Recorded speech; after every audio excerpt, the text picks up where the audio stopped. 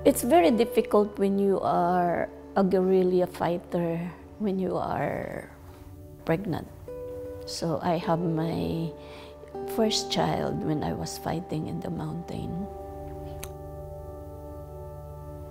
I was forced to give him up. And then I received the news that my mother died. After that, it's really changed me, you know. I've become hardened. I, I hate the world, you know. And yeah, I and lost.